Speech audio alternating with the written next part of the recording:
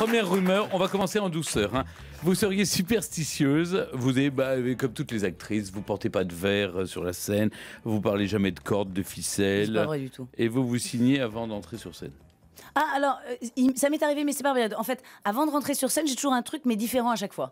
Donc, si je commence, la- la- si avant la pièce, je commence par un signe de croix, ça va être ça pendant tout ce spectacle. Si je commence par je me tape sur le front, ça va être ça pendant tout. Tu vois? Donc, c'est. Oui, là, c'est de la superstition. En revanche, le vert, c'est faux parce que j'ai joué une pièce il y a très longtemps où j'avais une robe verte et où je disais sur scène le mot corde. Je disais euh, donnez-moi ces cordes et où je sifflais. Il faut Ah oui, pas siffler. faut- Donc, non, je, je- je me raisonne. D'accord.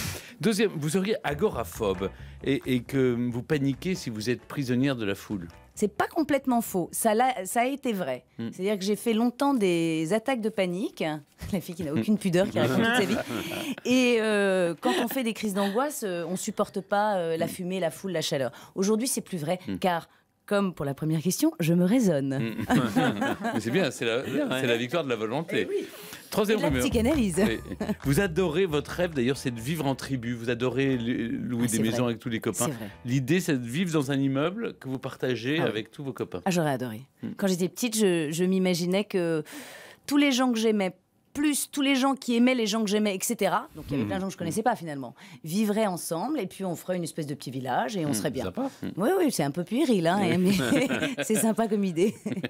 Vous faites tous les jours de la marche sur un tapis réglé à 7 km/h. N'importe quoi. Rumeur. N'importe quoi. Non, je fais du pilate et en revanche, je marche beaucoup dans Paris. Hmm. J'adore ça. Vous auriez créé chez vous une pièce spéciale que vous appelez un cabinet de curiosité? Mais comment ils savent ça? J'ai pas du tout créé une pièce. J'ai une chambre bureau, puisque toute ma famille est à l'étranger, mes sœurs Ouais. sont en Angleterre, euh, et- etc. Mon père aussi. Enfin, personne n'est à Paris. Donc j'ai une petite pièce bureau, chambre d'amis, et, et- et j'y ai mis euh, tous mes petits objets un peu particuliers, mes vieux livres. J'ai des vieux livres du 18e. euh, voilà, donc c'est un genre de cabinet de curiosité, mais enfin bon. Exagérer. Là, Hmm. exagérer. Vous n'êtes pas une grande cuisinière, mais quand même, vous êtes la reine du poulet taille au lait de coco. Non mais en fait c'est vrai votre truc. Ah non, mais. C'est vrai. Je suis la reine du poulet taille, des soupes taille. Ah. Oui, c'est vrai. Hmm. Et pas très grande cuisinière parce que je n'ai pas de patience. Je n'aime faire la cuisine qu'en vacances, avec les copains. Moi, j'aime bien éplucher les carottes avec les copains et les copines en discutant. Voilà. Si je dois être toute seule. Ah oui, c'est ça- oui, c'est- c'est vrai, alors que j'aime bien le tricot en revanche, vois, mais la cuisine non. Ah ben, elle aime bien le tricot, c'était une autre humeur. Faut la noter. Faut la noter pour la prochaine fois. Euh, vous rêviez d'être cantatrice ou archéologue, c'est Oui, vrai c'est vrai. Ah oui, Oui, c'est vrai. Ouais, j'aurais bien aimé euh, chanter a cappella. euh, Je me la pétais un peu, petite fille. Et archéologue, j'aurais mieux fait. hein, parce que comme je le dis dans le livre, c'est quand même plus chic en vieillissant d'être archéologue qu'actrice. Non, ça va.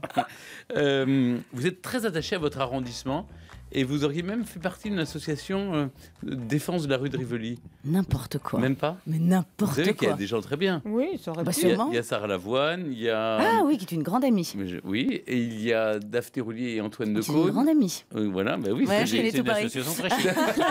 C'est des copains de la rue. les copains de la Ouais, c'est ça, les copains de quartier. de non, non, quartier. non, mais tout le monde est dans. Les enfants sont tous dans la même école parce qu'il y a, il y a qu'une seule. Enfin, il y a plein d'écoles dans le premier, enfin, pas tant que ça d'ailleurs. Mais il y a une école particulièrement familiale et chouette et tous les enfants sont là-bas. Mais non, on ne nous l'a pas proposé, sinon j'aurais Ah défendu bah le voilà, premier arrondissement, qui n'est pas mon quartier de naissance. Moi, j'y suis depuis 7 ans.